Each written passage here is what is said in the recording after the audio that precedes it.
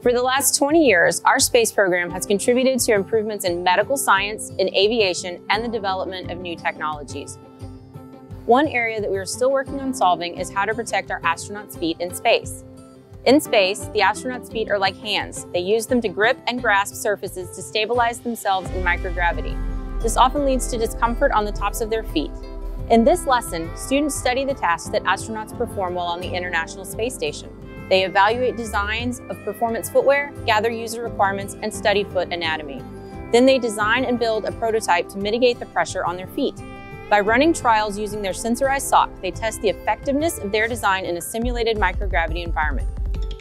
Finally, they write and record an advertisement to explain their design. We hope you bring this lesson plan to your classroom and challenge your students to design new ways to protect our astronauts' feet as they continue to pave the way for future space travelers.